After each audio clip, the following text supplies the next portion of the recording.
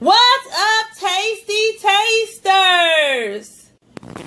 What's up, Tasty Tasters? So today we are making chicken chicken meatball stromboli pizzas with bacon. Okay. So what you're gonna need is some blue agave, organic, pizza sauce, marinara sauce, pizza crust. I'm using Trader Joe's pizza crust. This crust is awesome, you guys. If you can find it at your Trader Joe's, definitely get it. You're gonna need some olive oil. You're gonna need some thyme, some red pepper flake, some smoked paprika. You're gonna need some Mrs. Dash chipotle. You're gonna need some garbanzo beans, some cumin, some peppercorns, black, pink Himalayan salt, minced onion, garlic powder, onion powder, Soulard Grill, and our Cherub's Rib Rub. So guys, go ahead and grab your ingredients so we can get to cooking.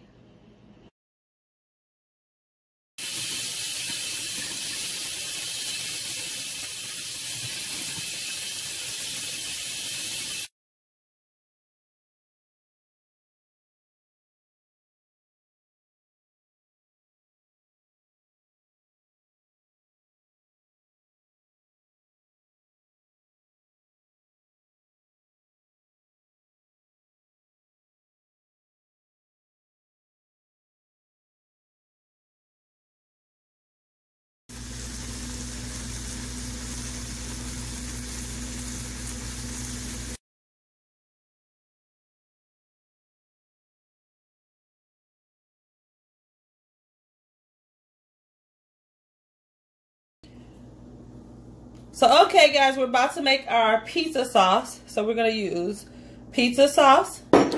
We're going to use a half of a cup. I'm going to measure this out.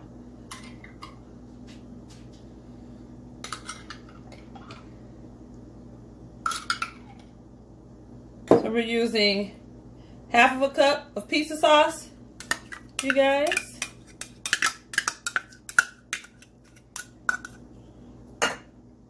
Then we're going to use half of a cup of organic marinara sauce. Just going to pour that in. I don't want to use that same spoon. Oops. So, right at a half a cup. Excessive half a cup.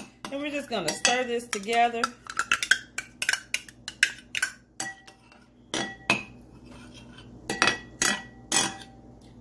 To this, guys, to break up a little bit of the monotony of this,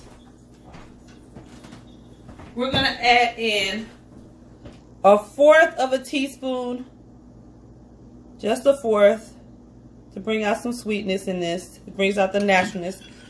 A fourth of a teaspoon of our blue agave. This is a sweetener. Okay. We're also going to add to this a fourth of a teaspoon approximately. Actually a teaspoon of minced onion. Just for flavor. We're going to add a pinch of Soulard Grill. Just a pinch. You don't need a lot. A pinch of Soulard Grill. You know, right behind Soulard Grill, cherub rib rub, all ribs rub always follows. So you got a pinch of that. So we have a pinch of both. We have our squirt of blue agave, cherub's rib rub. Okay, guys, and the last thing we're gonna add in is a pinch of our white pepper. And that's all we're going to do for the sauce, you guys. Sounds delicious, huh? Because it's going to be. See you guys in a few.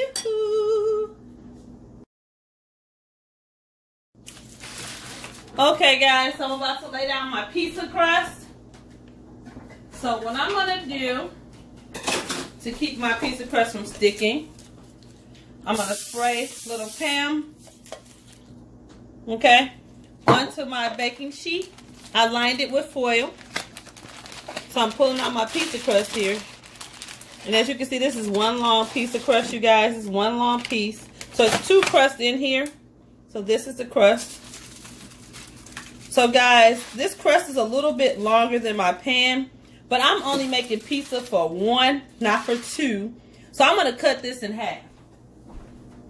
I'm gonna grab my pizza cutter. Now, if you're making pizza for your family, by all means, please use the whole piece of crust. But I'm not. I'm just making one little pizza for me. You guys, this reminds me of pizza at my school. when I was growing up. They used to have pizza similar to this. And it's so funny. So now I'm going to go ahead and spray a little bit of spray on the crust. As you can see. I'm going to go ahead and add some sauce to my crust.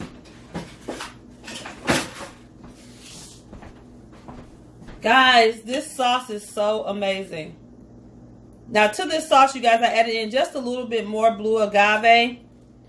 Just because it just needed a little more sweetness um, to offset. Because, you know, tomatoes are acidy. So, you basically want to put the, the sauce almost to the edge of the crust, but not all the way to the edge.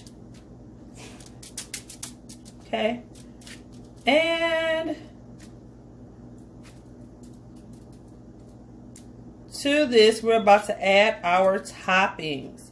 First, I want to get that. And then I like that also, guys, I want to put a little bit of extra sauce. I want that big pop of tomato. You see, guys, see that tomato? So we want to go maybe a half of an inch away from the crust, the edge of the crust, with our pizza sauce. You guys, if you're a person that likes a lot of sauce, then by all means fill it up, but I'm not going to sauce it too hot too much. So guys, this is our sauce. Now we're about to add our toppings.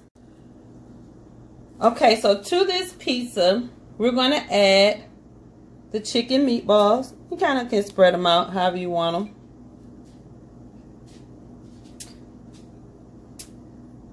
I don't have a certain way to put them on there. I'm just putting them on there. We're going to add bacon. Beautiful bacon. So I guess our bacon can go like in between or however you want to position your bacon on your pizza. It's up to you. Okay. And I personally want a lot of bacon as well as the chicken meatballs. I like the way it gives the flavor to the meatball. To this, I'm also going to add in our tomato, which I showed you earlier.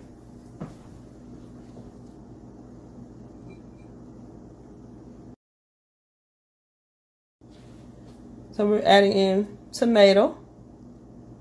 And guys, this tomato brings like this really good pop of freshness. And it's something about a, a, tomato that goes in the oven. It just, it goes to another level. So guys, we have our bacon, our tomato, and our chicken meatballs on our chicken pizza. So we're going to come in now, guys, and we're going to add in some of our Parmesan, Romano, and Asiago cheese. Guys, this is what it looks like. So it's all these three different cheeses all together. So we're just to drop that on top of the pizza. Like so. You don't need a lot because you're still to come in with your mozzarella. So this actually adds a little tang, a little, it adds a little something, something to the pizza. Let's just put it that way. So we're to put that on. Okay. And last but not least, guys, we're going to go ahead and lay down some mozzarella. So guys, I'm actually going to use this mozzarella a little differently. I'm going to do slices. And you guys, this is actually real, the mozzarella ball. Not that uh, mozzarella you guys are used to buying from the store that's that's basically um, pasteurized. This is actual mozzarella. And we're going to take our slices of mozzarella and we're just going to lay them on top. Just going to lay them on top. And you probably need about, I'll say about six pretty, pretty thin slices. You don't need a lot of big, thick pieces because you got to remember you have all that other cheese on there too. So guys, we are slicing our cheese here. Bam. And then we have a little piece for the corner. Okay, so guys, into a 350 degree oven. the crust needs to be in the oven. Actually, I'm sorry, 375 degree oven. And we're going to actually leave it in there. Oh, about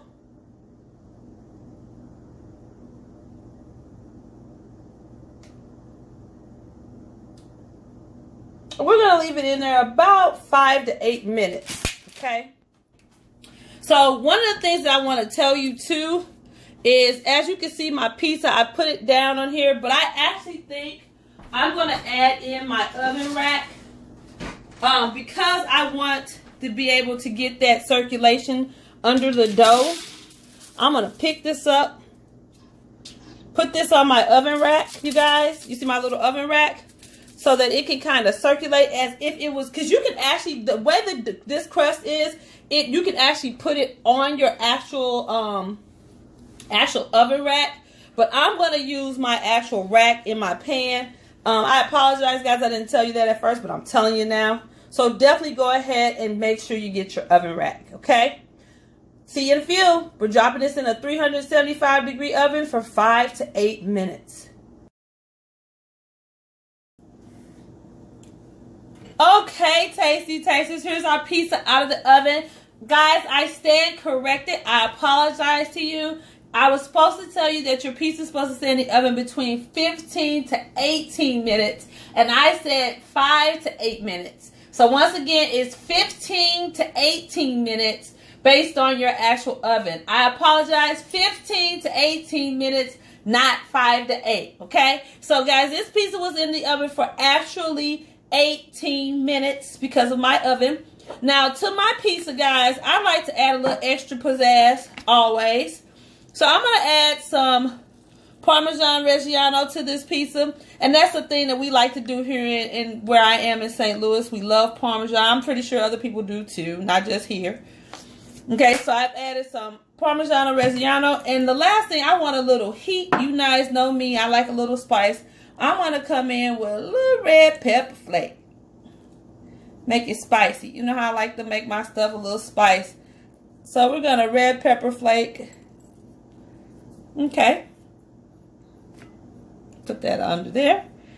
Now, guys, of course, you know I'm probably going to come in with a little something acidy, jalapeno, pickle, beet, something. Okay.